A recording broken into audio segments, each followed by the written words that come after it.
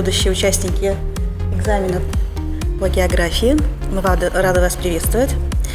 А, сегодняшний мастер-класс, а, который нацелен на то, чтобы показать вам, а, может быть, какие-то такие элементы, на которые нужно обратить внимание для успешной сдачи экзамена.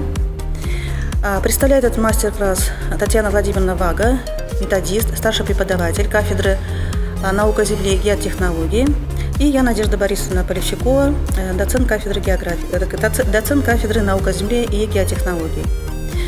А, Петр Гу вас приветствует, желает вам успешной сдачи экзамена. И э, формат нашего занятия будет построен таким образом, что параллельно будет работа идти вами и м, по э, тем типичным э, заданиям или ошибкам, на которые следует обратить внимание. Пожалуйста. Да, мы с вами приступаем. У меня, прежде чем мы перейдем, собственно, к выполнению заданий, разбору, может быть, каких-то моментов, которые необходимо учесть при, выпол... при выполнении экзамена, подскажите, пожалуйста, начали ли вы уже готовиться к ЕГЭ по географии? Вы уже представляете приблизительно, какие виды заданий будут. Но, тем не менее, на некоторые моменты мы с вами сейчас обратим внимание. Первое, прежде всего, то есть, о чем я вас и спросила, это подготовка к экзамену.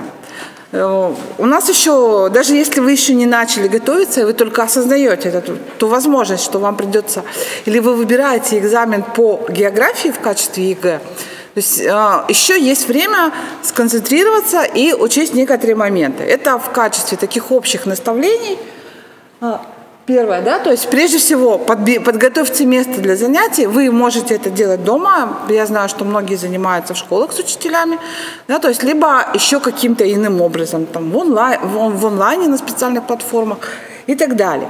Следующий момент, да, то есть составьте план подготовки. Это очень важно. И как раз следующая подсказка. А, то есть э, здесь нужно выбрать, разбить материал на темы чтобы себе представлять, насколько вы владеете содержанием той или иной темы.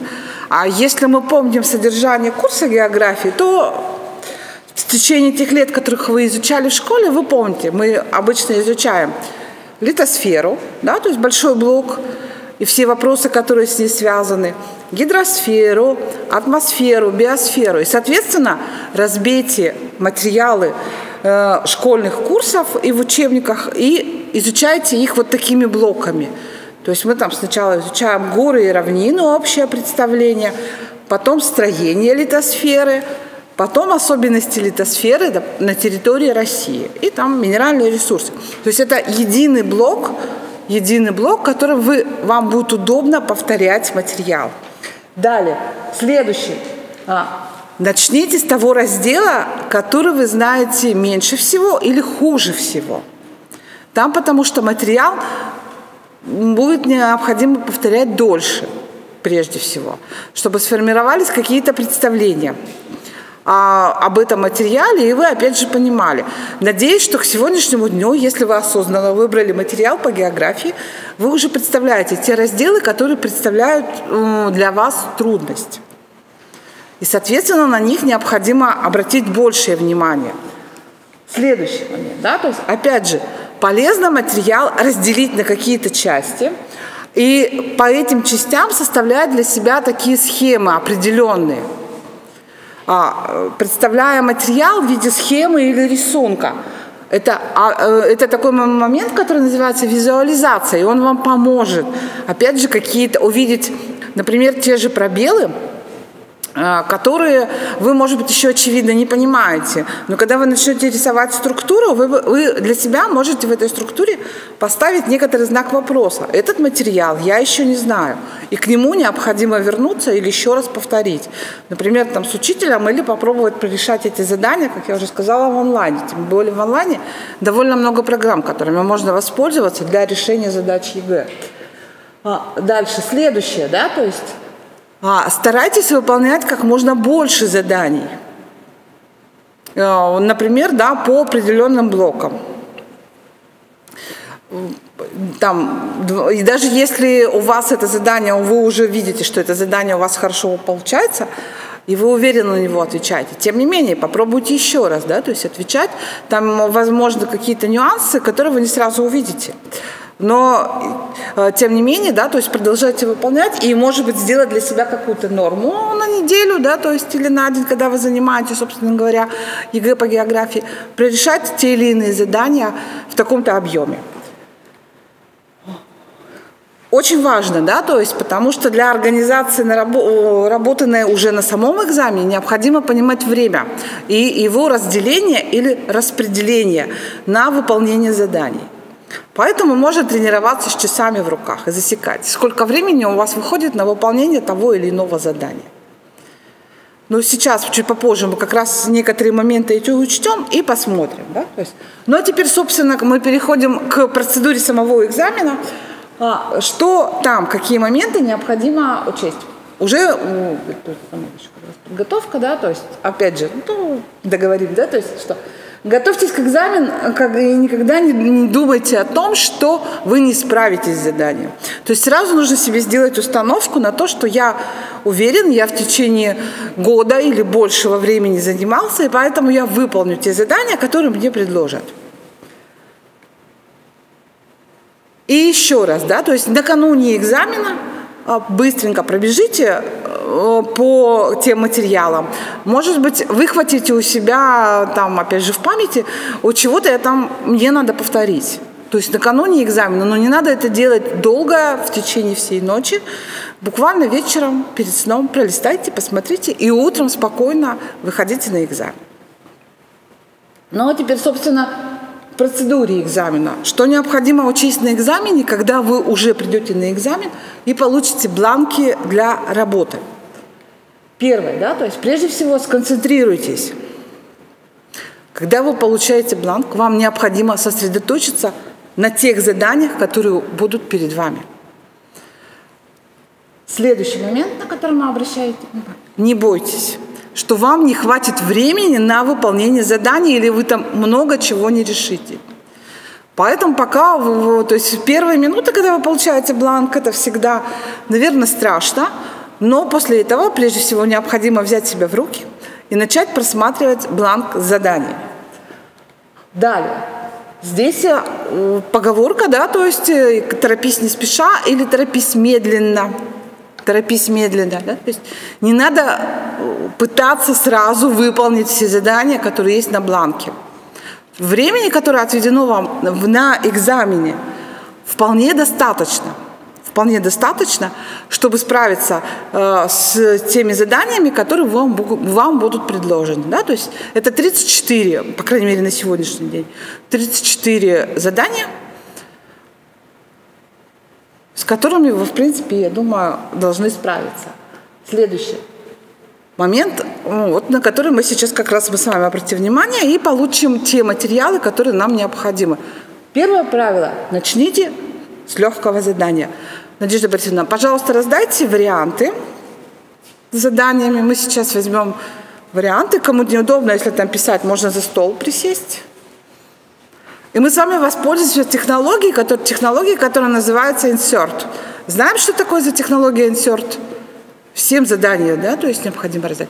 То есть перед вами лист с заданием ЕГЭ, ну просто немножко не в том формате, который вам предложат на экзамене, но в принципе все задания соответствуют тому или иному уровню. Мы отмечаем следующее. Себе вверху на листочке поставьте следующие знаки. Первое, да, то есть знаком э, плюс мы отмечаем те вопросы, на которые вы точно, вот просмотрев и бегло пробежавши по листочку, вы сможете на них ответить. Плюс. А восклицательным знаком мы отмечаем то, что вы, в то, в чем вы абсолютно уверены, что вы ответите на эти вопросы. И знаком минус мы отмечаем те вопросы задания, на которые вы не готовы сразу дать ответ. Пожалуйста, вы можете э, напротив каждого номера вопроса проставить тот или иной знак.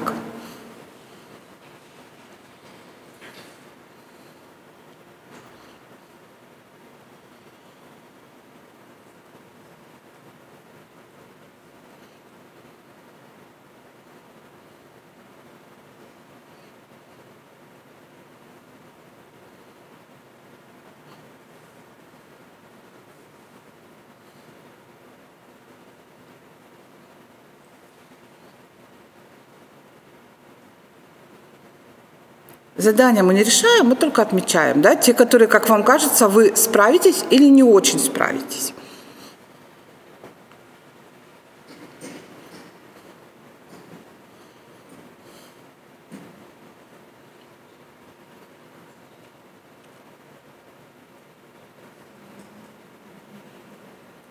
Как наши успехи? Уже все? Тот, кто уже проставил все знаки, посчитайте теперь, сколько легких вопросов и сколько трудных вопросов для вас в варианте.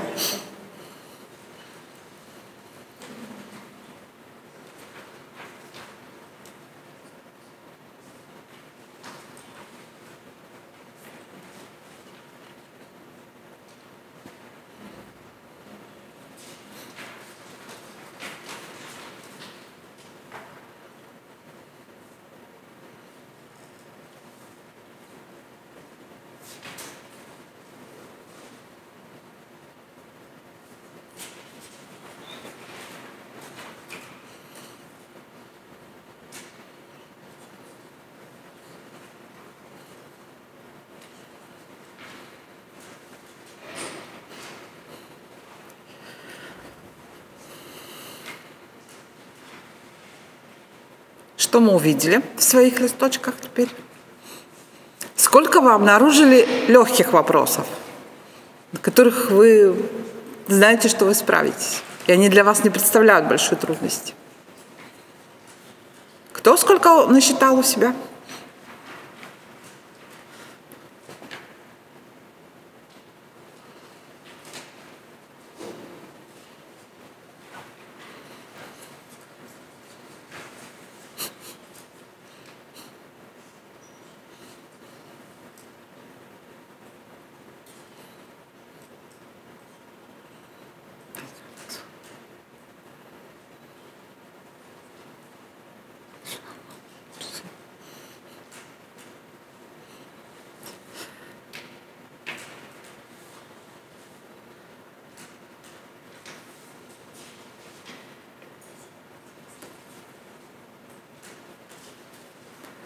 Мы готовы назвать результаты?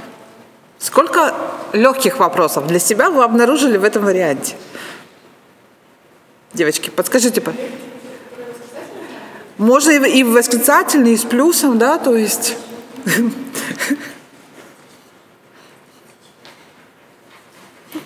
Проще так даже. О, хорошо, там дальше, пожалуйста, девочки, подскажите, как вы? Да, и молодой человек у нас сидит. 18. Вот видите, да, то есть, что больше половины заданий вы можете выполнить, да, то есть, поэтому, когда вы получаете вариант задания, обратите внимание сразу, попробуйте этот вариант прочитать и выбрать легкие вопросы, на которые вы ответите, и начинать работу с них, с этих вопросов. Далее, следующий. Ну да, то есть, естественно. Пропустите сначала трудные задания, оставьте их в сторонке, вы потом к ним вернетесь. Сначала выполните легкие задания. Далее. Теперь самое главное правило. Будьте внимательны, когда читаете задания.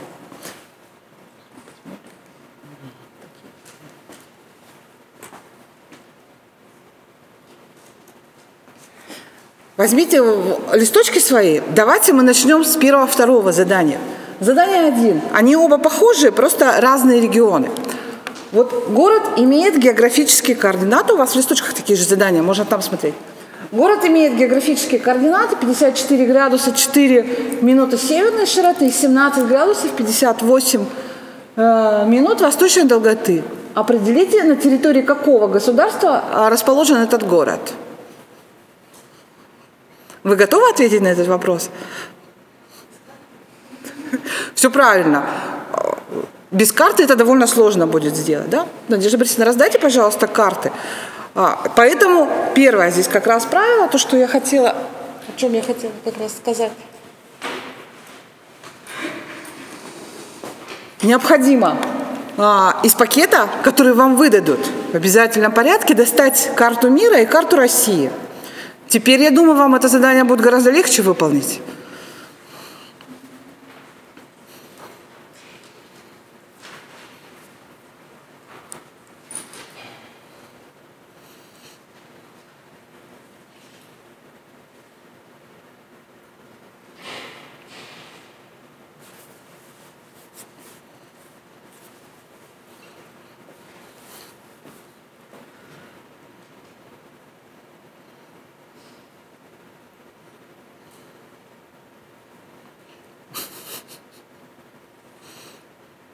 Готовы назвать страну? Задание номер один. Кто определил? Второй задание.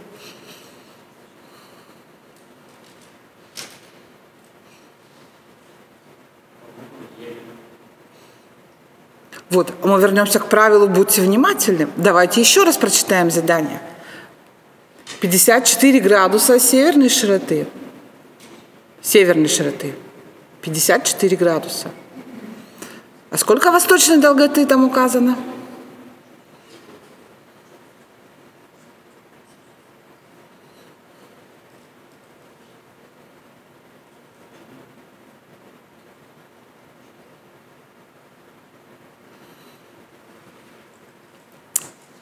Девочки, вы готовы назвать страну?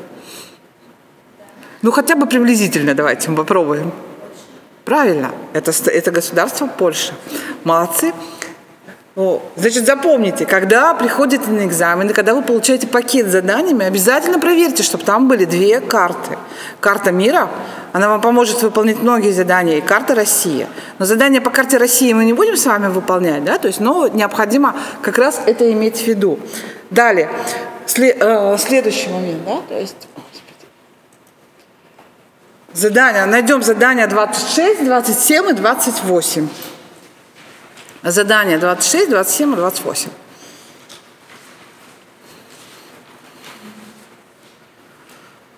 Шли? Чтобы выполнить это задание, нам что необходимо? Вам необходимо линейка еще,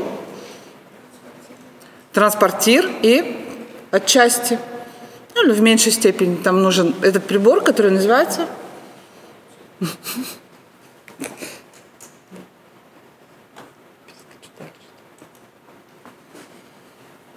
калькулятор.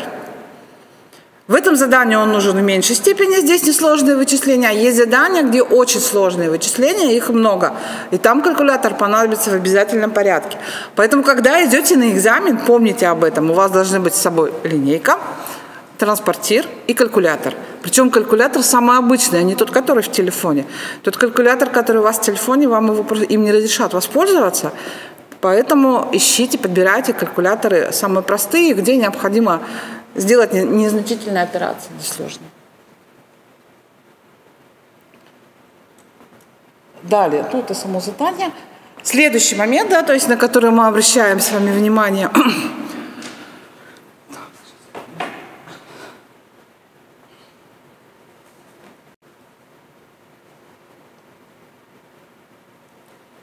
Следующий момент, на который мы с вами обращаем внимание, это на формулировку задания, на формулировке заданий. Открываем, соответственно, так, открываем.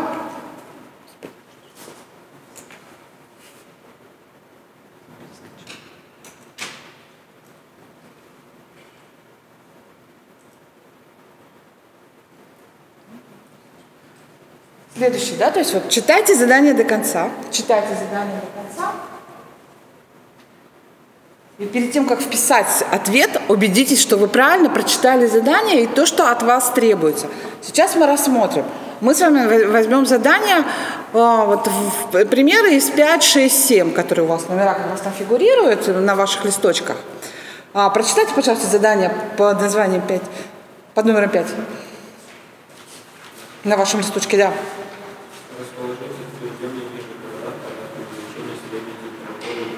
Вот. Расположите города в порядке увеличения средней температуры.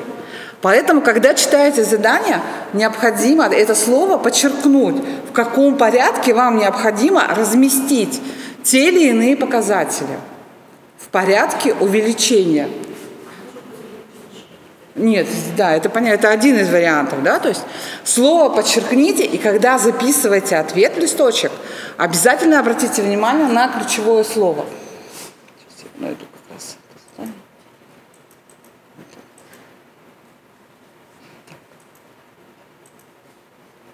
Да, то есть в, поряд, в порядке увеличения. Но мы с вами задание сейчас. Следующее задание тоже похожее. Там немножко другая последовательность. Вот прочитайте у вас задание. Да? То есть расположите перечисленные части Мирового океана с запада на восток. То же самое, вот чтобы правильно выполнить это задание и верно выполнить это задание, подчеркните, в каком направлении вам нужно перечислять объекты. С запада на восток, с востока на запад, с севера на юг или с юга на север – при, если, тем более у вас имеется карта, я думаю, что с этим заданием вы тоже довольно легко справитесь. Оно у вас не вызовет затруднений. Единственный момент, который, естественно, необходимо учесть, о том, что, да, то есть если не все объекты подписаны, то необходимо знать, где они находятся. И за тот промежуток времени, который остался до экзамена, кое-какие объекты можно повторить и выучить. Далее, след, следующее, да, то есть задание 16. Давайте мы откроем и найдем задание 16.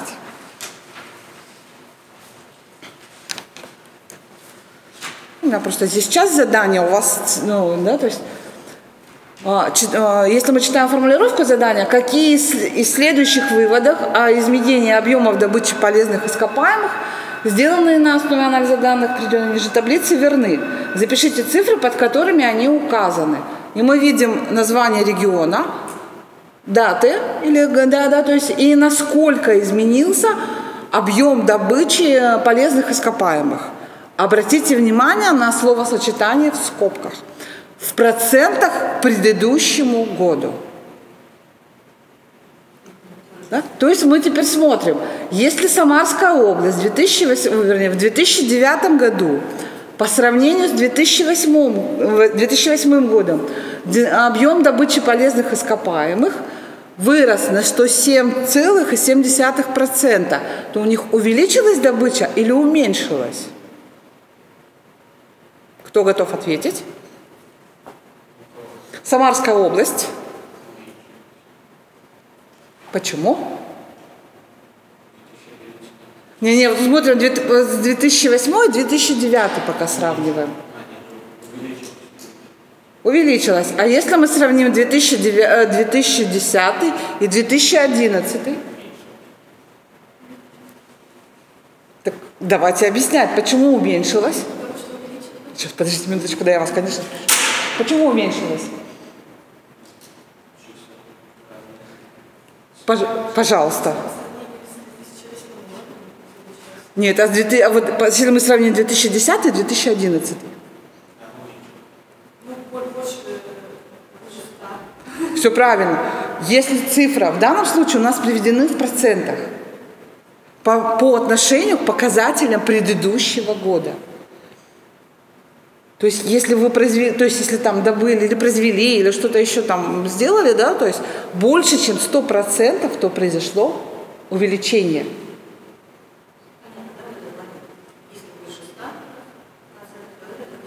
То есть, смотрите, в 2008 году они произвели чего-нибудь там 8, да, а в следующем году на 100, на 100 допустим, 3% больше, чем 8.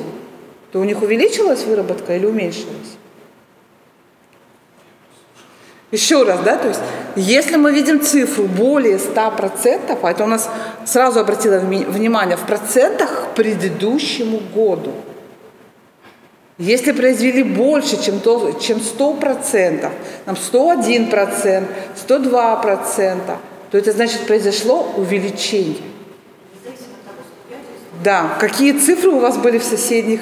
Если больше 100, то это увеличение происходит. Вот посмотрите, пожалуйста, где происходило уменьшение выработки? На этой таблице, таблица перед вами. Какие есть варианты? Когда именно? То есть в 2009 году уменьшилась, да, то есть выработка по сравнению с 2008, потому что мы видим цифру менее 100%.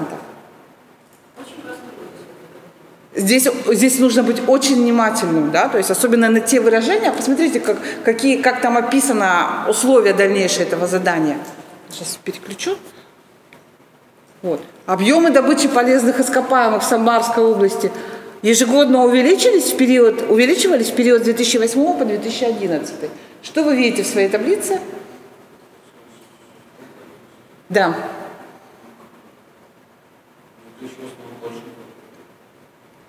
То есть мы видим, я вернусь к таблице, да. мы видим 104, 107, 105 и 103. Всегда, каждый год больше, чем 100% в предыдущем году, да, то есть производили.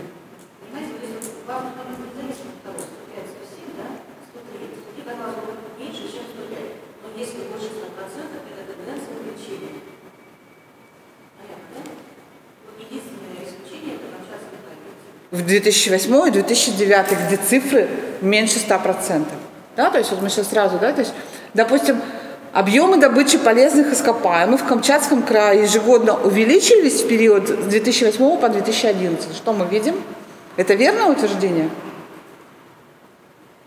Неверное, потому что в 2009 произвели меньше, чем в 2008. Вот если, вот, соответственно, вы можете потом забрать эти экземпляры с собой задания, поставьте, если вам трудно и вы не понимаете, поставьте для себя такой большой знак вопроса. Убедительная просьба. Да? Можете потом подойти после мастер-класса, я вам еще раз объясню. Далее, следующее задание. Задание 24 и задание 25, они похожи. Мы с вами на примере 24 задания рассмотрим. Определите страну по ее краткому описанию, а в 25-м определите регион России. То есть, когда мы решаем подобную задачу, мы пытаемся делить э, содержание задачи на некоторые блоки, по которым вам будет легко потом определить страну. Значит, если мы, плюс у вас имеются карты, давайте будем, эта страна относится к числу крупнейших стран по площади территории но не входит в число крупных стран по численности населения. Мы сразу вспоминаем, какие мы знаем самые крупные страны по площади. Дальше Канада, Россия, Канада, Китай еще имеется, да, там Австралия. То есть вот мы определили несколько стран. Дальше. Но она не является самой, ну то есть не входит в число крупных стран по численности населения. Поэтому какую страну мы сразу зачеркнем? Китай сразу зачеркиваем. Далее. Ее территория пересекается с северным полярным кругом. Посмотрели. Нашли северный полярный круг. У нас какие остались страны, которые пересекаются с северным полярным кругом? Канада, США, Россия. Ну и дальше плотность населения низкая. На мировой рынок поставляют продукцию машиностроения, лесной целлюлозо-бумажной промышленности и цветной металлургии, нефть и газ является одним из крупнейших мировых поставщиков сельскохозяйственной продукции. Что это за страна? Ничего подобного.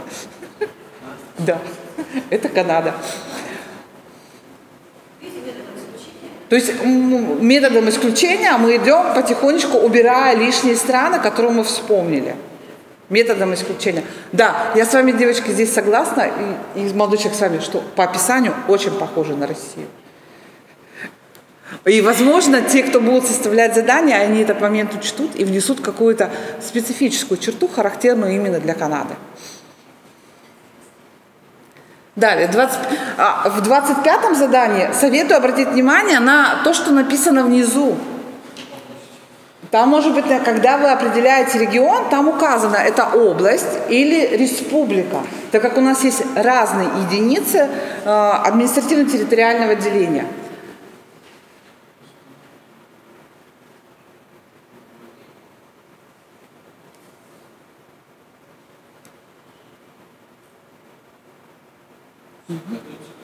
Не,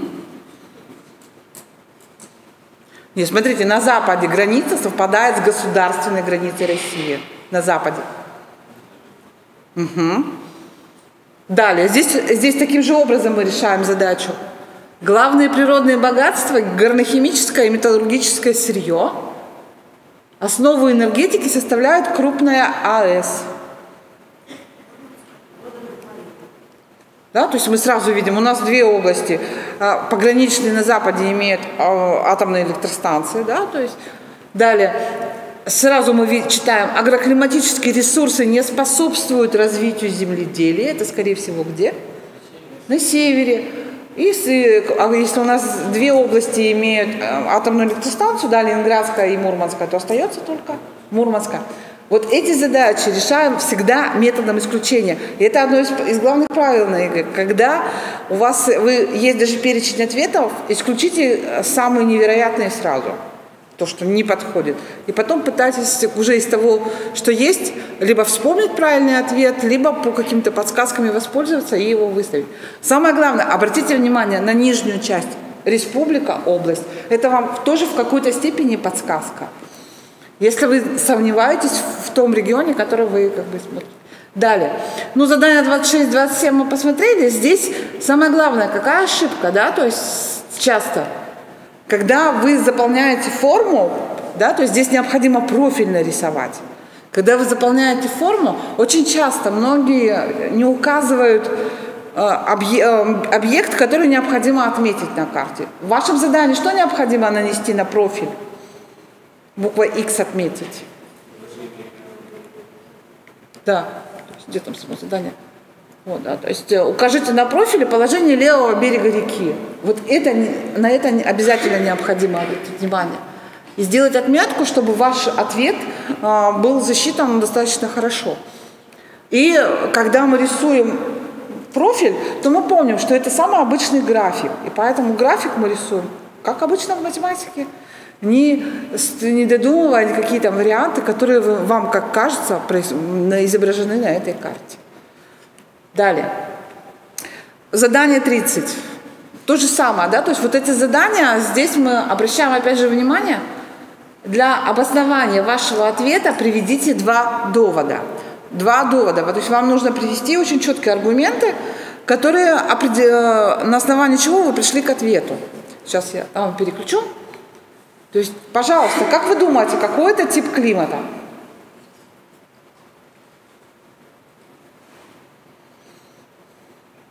Если там кому-то очень плохо видно, здесь можно посмотреть диаграмму на презентации.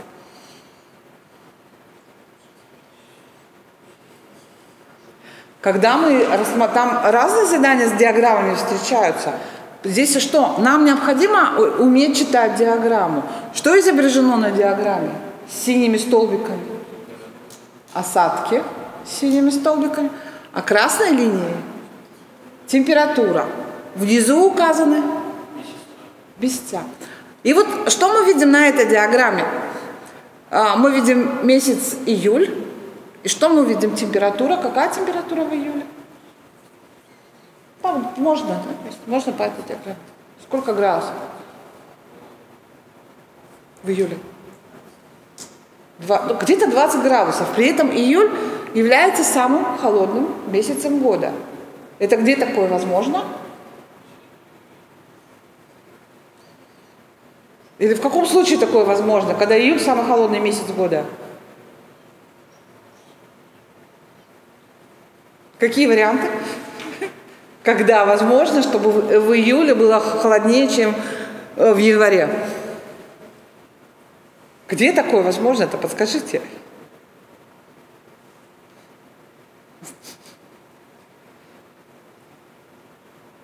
Хорошо, вам в качестве подсказки. Это возможно только к югу от экватора или в южном полушарии.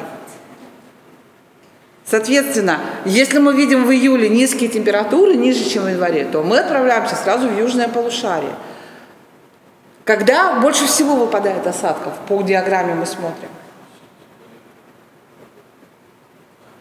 В январе и там декабрь, да, то есть, э, то есть это какой сезон года для южного полушария? лето. В каком климате больше всего выпадает осадков летом? И еще посмотрите, какие температуры высокие. Какой климат? Громче не слышу. Это, это субэкваториальный климат. То есть у вас, смотрите, должно быть климат субэкваториальный, и следующее обязательно два довода. Не пишите лишнего в ответе. Подумайте именно конкретно над этими доводами. что мы, мы видим, что климат субэкваториальный, потому что много осадков выпадает летом, их вообще много выпадает осадков. Вот мы видим 1799 миллиметров. Осадки выпадают летом, температуры не опускаются ниже 20 градусов и не очень сильно колеблются. То есть вот это основные доводы, которые может учесть комиссия, которая проверяет ваше задание. Итак, когда мы анализируем каждую диаграмму, мы находим вот эти описания, которые помогут вам ответить правильно. Далее, следующее, да, то есть задание. Здесь вот ряд, 31 э, задание, ряд заданий для работы с таблицами, где очень много статистических материалов или статистических данных. Мы сейчас ее откроем, да, то есть это задание. Вот, например, задание 31. Вам необходимо что определить в задании? Можно открыть оно у вас такое же точно.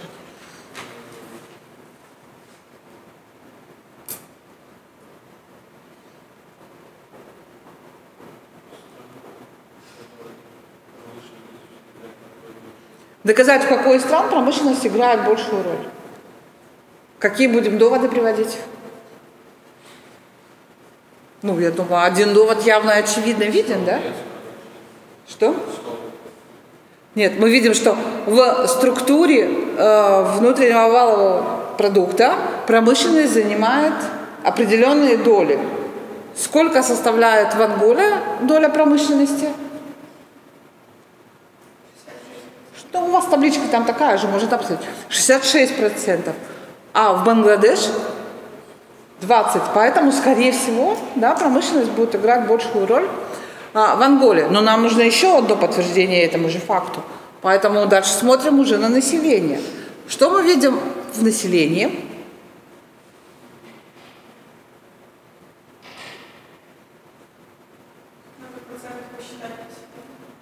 Долю городского населения. Сколько составляет доля городского населения в Анголе? Ну, даже можно сказать сразу, не сильно рассчитывая. Что мы видим там? Приблизительно 50%, да? То есть, а в Бангладеш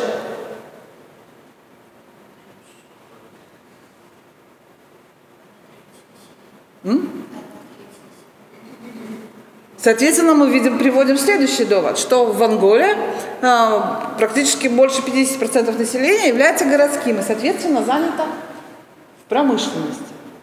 Да, то есть вот мы внимательно анализируем те цифры, которые имеются в таблице.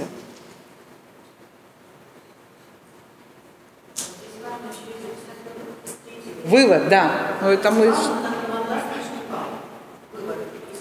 То есть ваш ответ должен звучать следующим образом, да, то, что промышленность играет большую роль в Анголе, потому что 66% ВВП составляет промышленность, и ну, там более, более 50% населения заня, является городским, то есть занято в промышленности.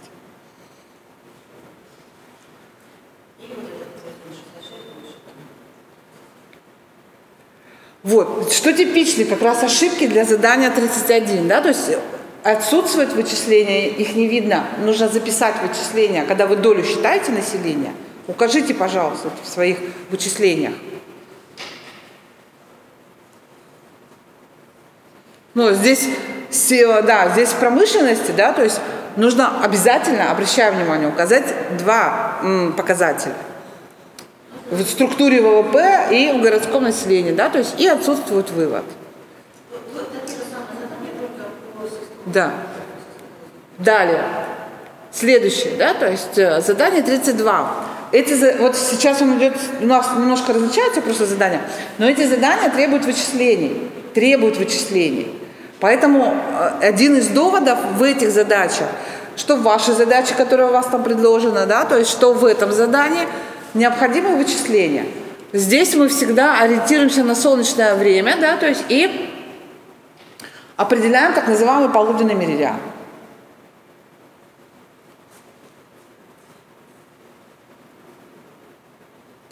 Ну, у вас там просто немножко иной вариант задания, да, то есть но наша задача определить, выше Солнце выше всего находится в какое время дня?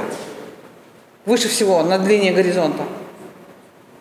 В полдень, все правильно. Полдень это сколько по времени считается условно? 12 часов. Если мы видим задание 7 часов по солнечному времени,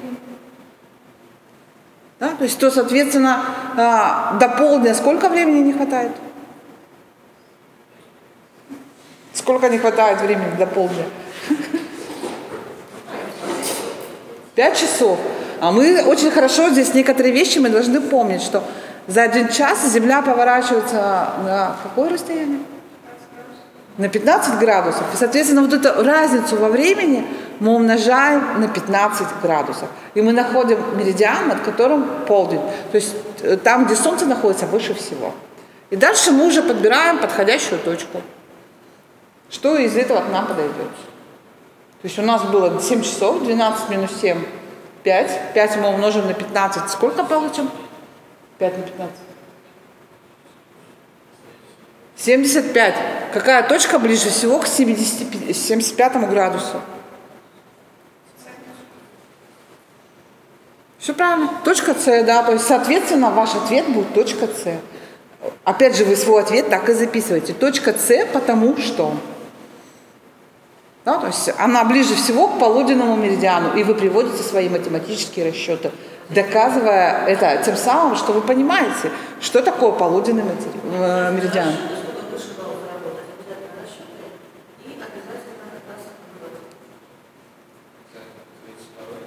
Ну, у вас разные задания, разные просто немножко задания. У вас там такой же вариант, да? Ну, в смысле, да?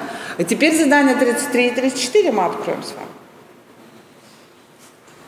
Вам приведена таблица с показателями по динамике численности населения. И с этой численностью населения необходимо провести сложные расчеты. Вот здесь вам точно понадобится калькулятор. В обязательном порядке, и поэтому не забываем об этом. Когда мы приходим на экзамен – а, у вас данные есть такие же, поэтому мы, я просто пропущу у себя это задание. То есть обратите внимание на формулировку задания 33.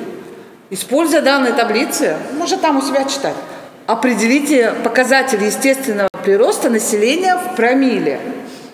Промилле это что за единица измерения? Если процент это одна сотая, то промилле это одна тысячная.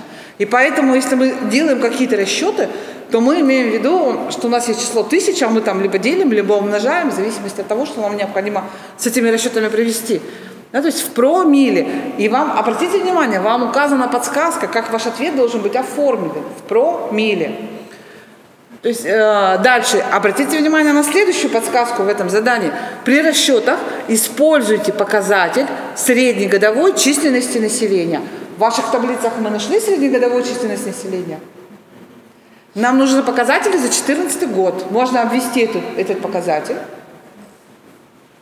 За 2014 год. И нам нужно будет какой еще показатель за 2014 год? Естественный прирост. И далее мы рассчитываем по формуле. Э, естественный прирост мы делим на среднегодовую численность населения – и умножаем на тысячу. Естественный прирост разделить на среднегодовую численность населения и умножить на тысячу. Мы получаем какую-то цифру. Цифра уже у нас с вами будет в промиле. Еще раз подсказываю, промиле записывается таким образом. А, вам необходимо записать решение задачи. Внимательно мы читаем, да, то есть записать решение задачи. И самое главное, внизу смотрим, то есть как раз то, что касается внимательно, читайте задание. Полученный результат округлите до десятых долей. То есть, если у вас получается после деления число там, с большим количеством цифр после запятой, ваша задача только округлить до десятой. Ну да, если у вас получается отрицательное число, а, а, вот у вас какой будет показатель, отрицательный или положительный? Посмотрите, пожалуйста, в таблицу сразу. Отрицательный. И поэтому мы записываем обязательно в да, то есть минус и сколько у нас получается при, при делении, то есть при э, расчете по этой формуле. И задание 34. Внимательно, опять же, мы смотрим, да, то есть на численность населения – Заметное влияние оказывает естественное движение и миграция. Проанализируйте данные таблицы и определите величину миграционного прироста или убыли населения а, в Республике Карелия за 2014 год. Запишите решение задачи.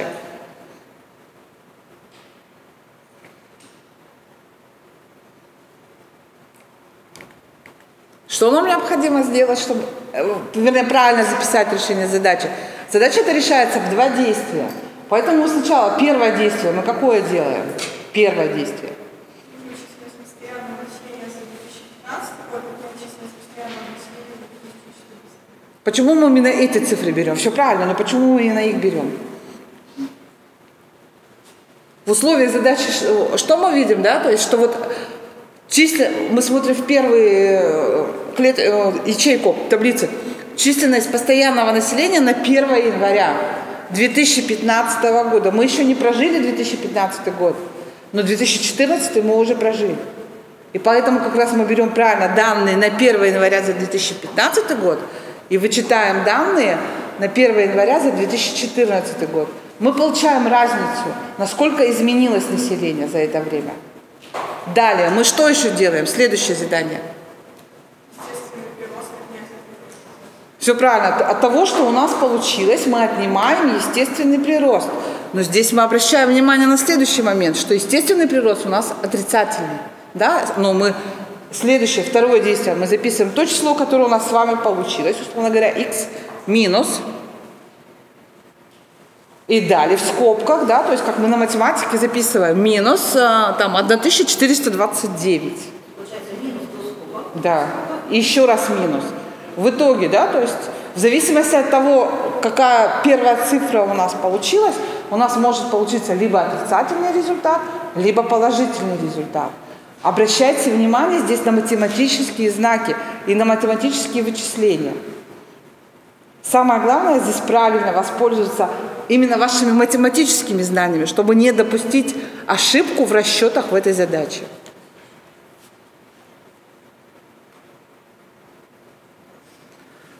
Потому что здесь все знаки, которые встречаются в этом задании, они играют существенную роль в ответе.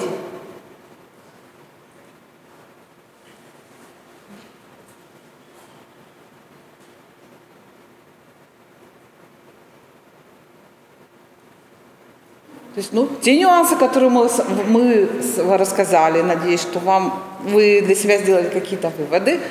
Когда анализировали задачи, возможно, увидели еще какие-то трудности, с которыми вам придется еще поработать, но в оставшееся время, я думаю, что вы с этим справитесь. Спасибо.